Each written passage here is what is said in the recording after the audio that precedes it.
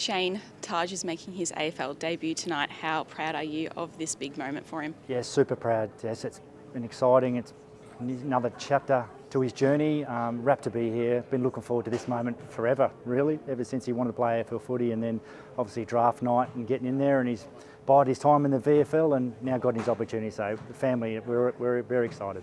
You yourself are a former Demon, 138 games in the red and the blue. Does it make it extra special that he'll be doing it in the red and blue tonight? Yeah, certainly does. He was a Melbourne supporter and never pushed him either way when he was growing up, but he's loved the D's forever. So um, a historical club, a proud footy club. I couldn't wait to pull the jumper on and so can Taj.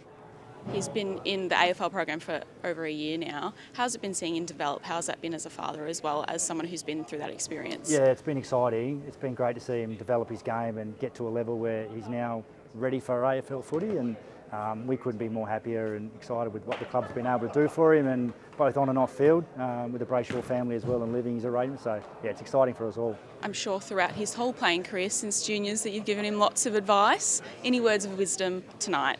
Oh, tonight it's just about uh, just enjoying the experience, embrace it, work hard, enjoy the moment for what it is, and because he gets to run out with 22 of his best mates and enjoy the experience of what your first game is, and he pulls the jumper on for the very first time. You just can't beat that. But more importantly, just play a role and work hard.